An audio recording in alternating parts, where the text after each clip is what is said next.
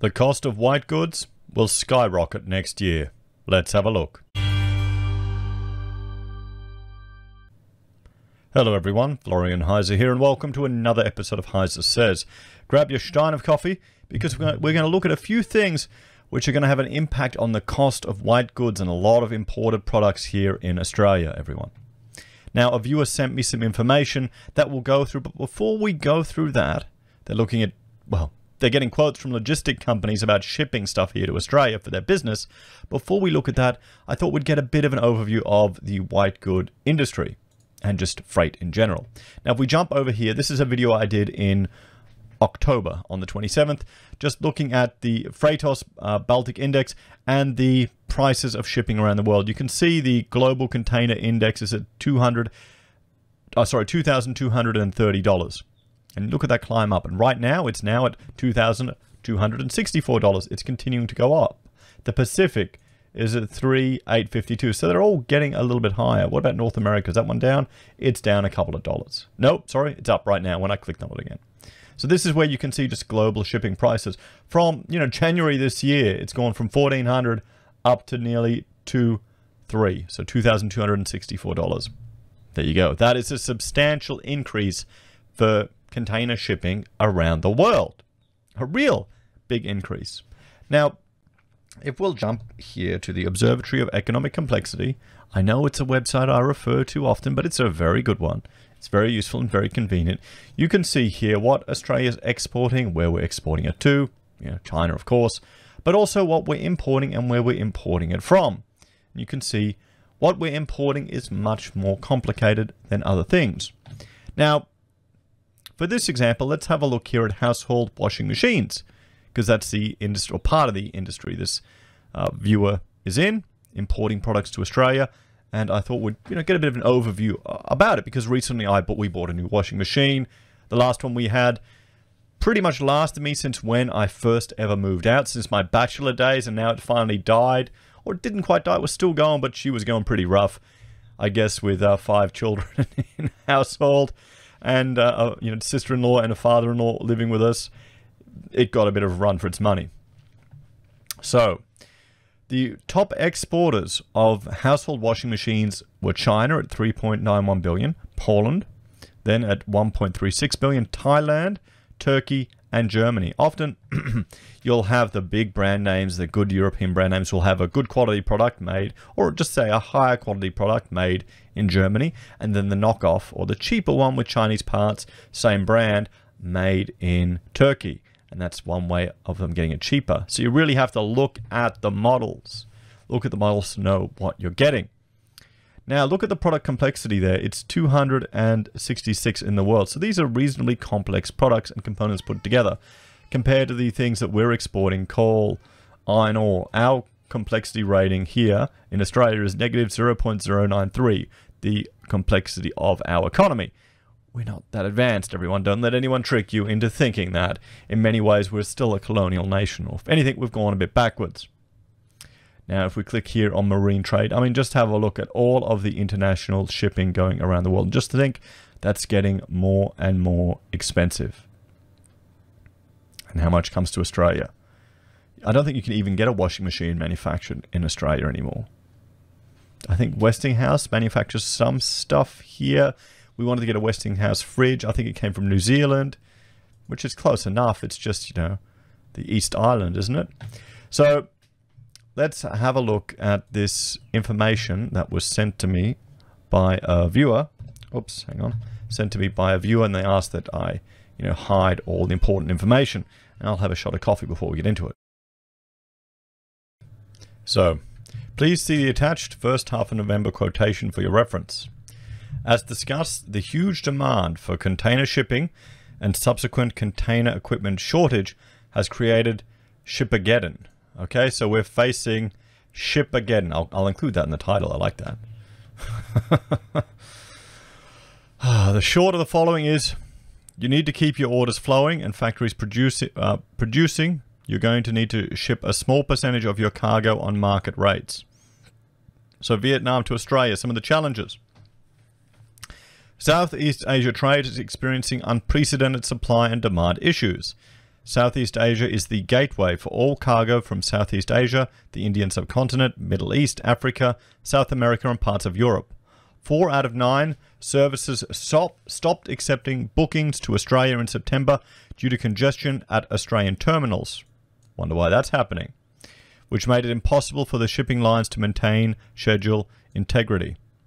The remaining services, AAX1 and AAX2, three of the five shipping lines have stopped accepting bookings to Sydney.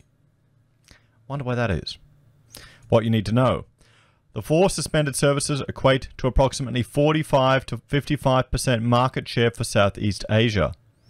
The service suspension and the two services not accept, accepting bookings to Sydney equates to 80 to 90% market share to Sydney being removed in September. 80 to 90% market share. Why isn't this in the news, everyone? Maybe it's just in the trade literature. You know? Surely this will have to have an economic impact on some of the, the imports, but it won't be felt until next year. Uh, CMA CGM are the world's fourth largest shipping lines. They own CMA CGM, ANL, and APL, holding the second largest market share from Southeast Asia to Australia. CMA CGM have advised they have major equipment issues throughout Southeast Asia, with Vietnam and India experiencing major container equipment shortages, with 40GP and 40HCs worst affected. CMA CGM are also implementing a Sea Priority Go surcharge. This is to guarantee equipment supply and loading on the vessels. Market rates are now between US 2300 and 2750 per 40 HC. However, this is subject to space and, conti- continu- and continually seeing bookings rejected, rolled, or cancelled. Market rates are expected to increase to US dollars 2,750 and 3,300 per 40 foot HC from November 2020. So they're, they're already going up. I mean, look at that change there.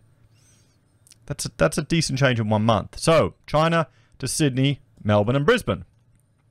Severe lack of 40GP and 40HC equipment in China is creating bidding wars as importers and forwarders look to secure equipment in space. Shipping lines selecting what equipment is released and to whom based on highest paying trade routes and customers. Several shipping lines still refuse or limit bookings to Sydney. Sydney again. Wonder why that is. Hmm. Market rates are increasing US 300 to 600 per 40 HC per month at the moment. What you need to know. Maersk, the world's largest shipping line, which controls approximately 10 to 15% market share to the east coast of Australia, stopped accepting, accepting bookings to Sydney from early September 2020. Market rates to Sydney are US 600 per 40 HC higher than Melbourne and Brisbane. This is either reflected as a Sydney congestion surcharge or increased or increased base rate. The container equipment shortage that is not expected to be resolved until March, April 2021. Everyone. Well, lucky they continued JobKeeper and bonus. Oh, sorry, Job Seeker bonus until then. Market rates to Sydney are now between US fourth. Whoa, 4,200 to 4,800 per 40 HC in October. However, this is subject to space and continually seeing bookings rejected, rolled, or cancelled. Market rates to Brisbane and Melbourne are now between 3600 and 4200 per 40 HC in October. We expect rates to exceed 5000 per HC into Sydney from China by the 15th of November, so in five days, and 4,500 per HC into Brisbane and Melbourne. If you need cargo here before Christmas, be prepared to accept a higher rate. So, supply and demand statistics. So, this is the 2021 September port statistics in New South Wales port stats. So, import volumes at Sydney Port are down 18.53% compared to September 2019. Vessel arrivals are down 37% compared to September 2019. Vessel arrivals are down due to port congestion in Sydney, creating significant delays.